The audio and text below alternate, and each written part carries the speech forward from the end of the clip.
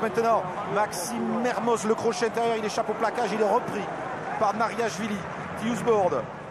Guito, Guito, bien bloqué par euh, Rinaldo Olivier. On revient à l'avantage encore. Monsieur